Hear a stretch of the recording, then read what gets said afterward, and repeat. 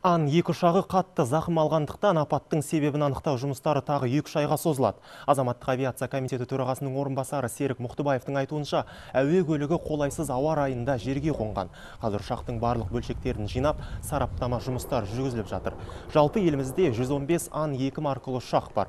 Соңғы 5 жылда 11 әуе апаты болды. Жуырдағы жағдайға байланысты елдегі барлық ан 2 ұшақтар тексерістен өткізілмек. Естеріңізге сала кетейік 20 қаңтар күні олимп эйр серіктестігіне тиесілі ұшақ шатыркөл кенішінің маңында апатқа ұшыраған еді. Салдарынан алты адам қаза тапты.